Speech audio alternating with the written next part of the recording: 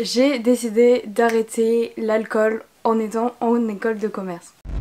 Just going home, have a late, late show. No one to meet me at home. Welcome les copains, aujourd'hui je vous retrouve pour une vidéo extrêmement particulière. Je n'ai jamais fait ce type de vidéo sur ma chaîne et pourtant ça fait des années que j'ai envie de le faire et je me suis dit allez 2020 lance-toi. J'ai décidé de vous proposer du contenu de plus en plus diversifié et essayer euh, d'aller plus loin que simplement vous montrer ma vie. Néanmoins je suis quelqu'un qui adore tester de nouvelles expériences et tous mes amis pourront vous le dire, euh, je suis toujours là à proposer des trucs improbables. Et là je me suis dit que pour commencer le début d'année j'allais décider de faire un mois sans alcool.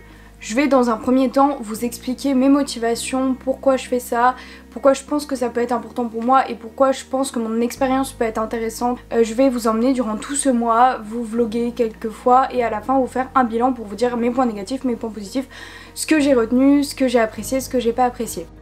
Je n'ai pas bu d'alcool depuis mon dernier jeudi soir, donc soirée euh, étudiante bien entendu, c'est-à-dire depuis euh, en fait le vendredi 17 janvier. J'ai commencé à boire de l'alcool quand j'étais quand j'entrais en première, donc l'été de ma seconde à ma première. Pour certains ce sera tôt, pour certains mm, assez tard. Euh, avant j'étais pas du tout pour l'alcool, que j'ai jamais été accro à l'alcool, j'ai jamais été non plus à me mettre morte au point de pas me souvenir ou des choses comme ça. J'ai abusé quelques fois dans ma vie, mais euh, j'ai toujours eu euh, un environnement qui faisait que les gens autour de moi ne buvaient pas trop non plus. Mes parents ne buvaient pas trop, euh, je rentrais souvent après les soirées.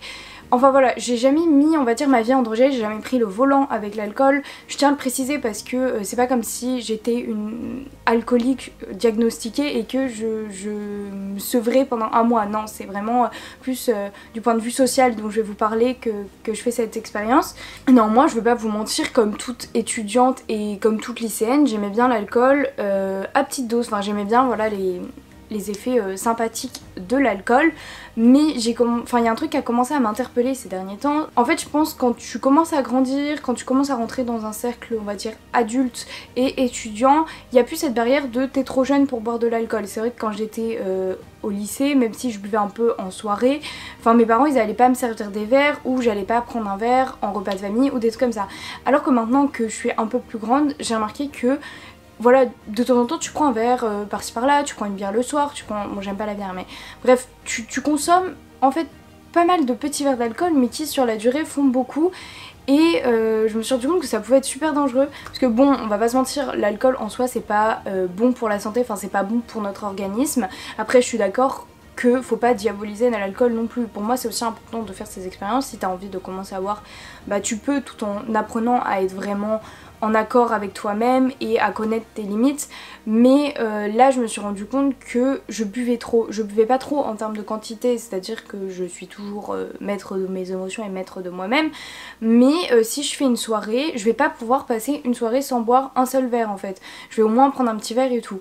Je pense que une des raisons principales c'est le fait que j'ai l'impression que l'alcool combat la fatigue. Je pense que c'est purement psychologique mais j'ai vraiment l'impression que quand je bois un verre d'alcool je vais être beaucoup moins vite fatiguée. Évidemment, je suis en école de commerce, je ne suis pas en prépa, donc c'est là que ça va être un peu plus compliqué. Euh, pour l'instant, on va dire que je buvais une fois par semaine environ. Et euh, là, pendant un mois, je ne vais pas boire, sachant que je pense que cette expérience peut être intéressante parce que je vais aller aux soirées. Évidemment, j'ai pas envie d'arrêter l'alcool pour toujours parce que je trouve que ce serait un peu dommage et que voilà, ça reste un petit plaisir de la vie de temps en temps.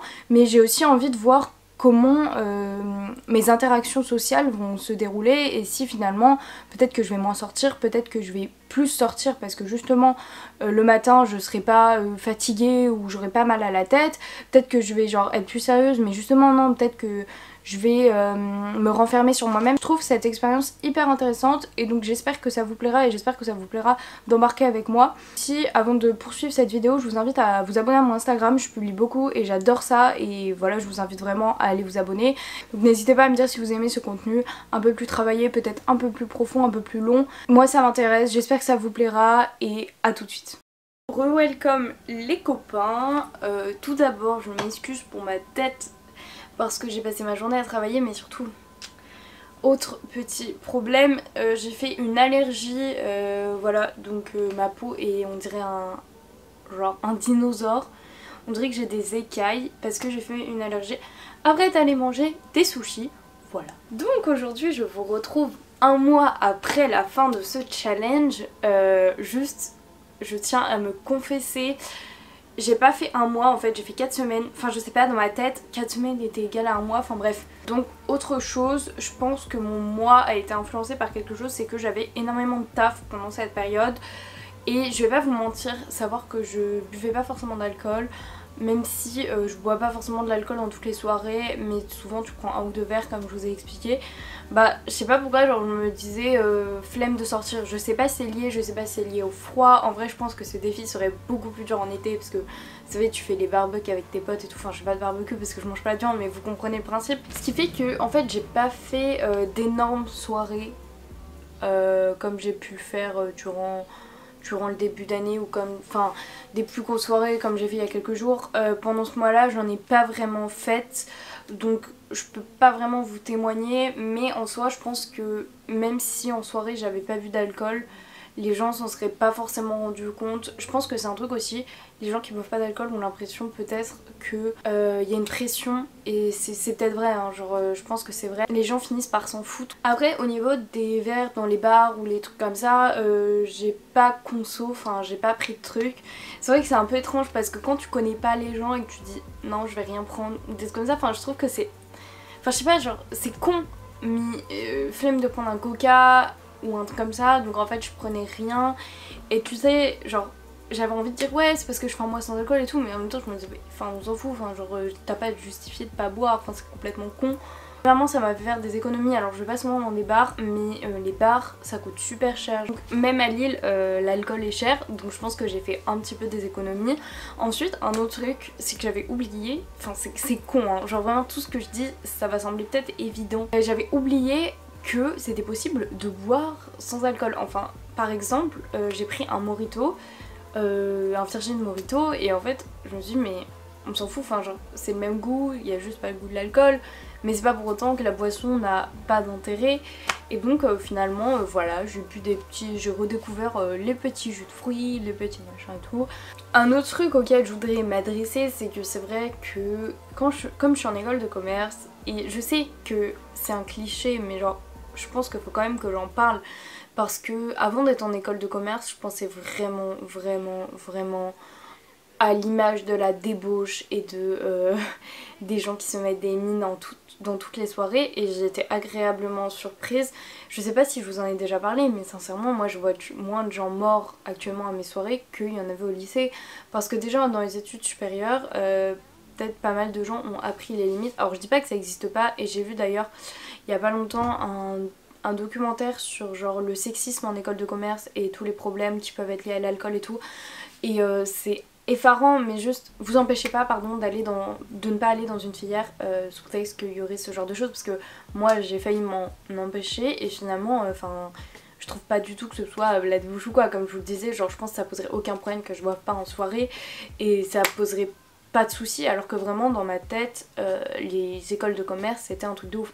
Après évidemment je parle de mon expérience, je parle de mon cas, je parle de moi mon cas dans mon école parce que j'imagine qu'il y a d'autres écoles qui sont pas comme ça mais je pense qu'à partir du moment où faut boire pour être intégré c'est qu'il y a un problème. Voilà, faut savoir que cette vidéo elle me fait bizarre parce qu'en fait vous allez peut-être vous dire que c'est complètement con parce que je suis pas une grosse buveuse d'alcool, que genre là c'est comme si je me privais. Et je sais j'ai parlé avec certains de mes potes qui m'ont dit que euh, ils comprenaient pas forcément le fait de se priver un mois parce qu'en soi tout le monde est censé, enfin toute personne peut se, se, priver un mois et évidemment dans les faits si tu n'es pas alcoolique et si tu n'as pas une addiction avec l'alcool tu peux euh, te couper un mois de l'alcool, de la boisson de l'alcool, mais c'est plus tout ce qui va autour, c'est pas genre juste l'alcool en soi, c'est le fait de faire des soirées, de faire des choses comme ça et que souvent les deux vont ensemble.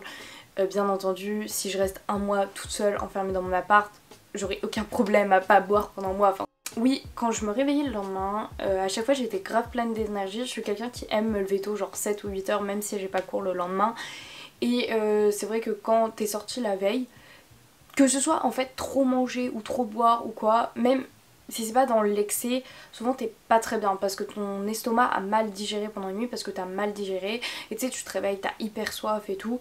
Et ça, c'est, je pense, alors je, je, travaille pas dans la science scientifiquement, mais je pense c'est parce que euh, l'alcool est extrêmement sucré et donc, mon avis, ton corps a besoin de boire, boire, boire. Donc, déjà, buvez beaucoup d'eau avant d'aller dormir si vous avez bu un peu d'alcool, même si c'est pas énormément, même si c'est quelques verres.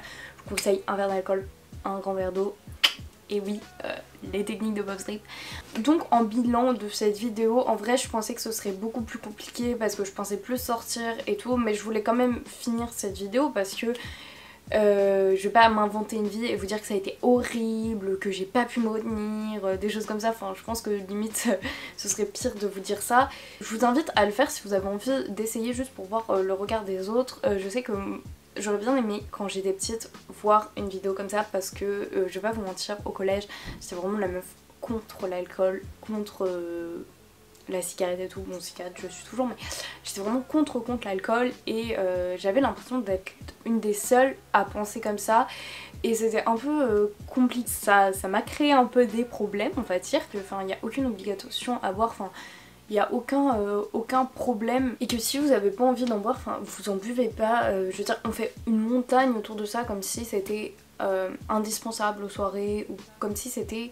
En fait j'ai l'impression que l'alcool c'est vraiment genre le symbole de l'adolescent, du fait de grandir et tout, mais pas du tout en fait. Il y a des gens qui boivent pas pour une question de religion, pour plein d'autres questions, et c'est pas pour autant qu'ils sont pas fun ou qu'ils sont pas sympa à inviter en soirée. Donc voilà, je l'ai déjà fait, mais ne dites pas aux gens allez, prends juste un petit verre, allez, allez. Non, enfin chacun fait comme il veut. Bref, euh, je vous invite à vous abonner à ma chaîne, à me donner des défis peut-être un peu plus compliqués en part d'infos, genre des un mois en faisant ci, en faisant ça, comme ça, et bah ce sera un peu plus complexe que là, parce que là c'était un peu trop facile pour, euh, pour moi je trouve. Donc voilà, j'espère que cette vidéo vous aura plu, n'hésitez pas à vous abonner à mon Instagram.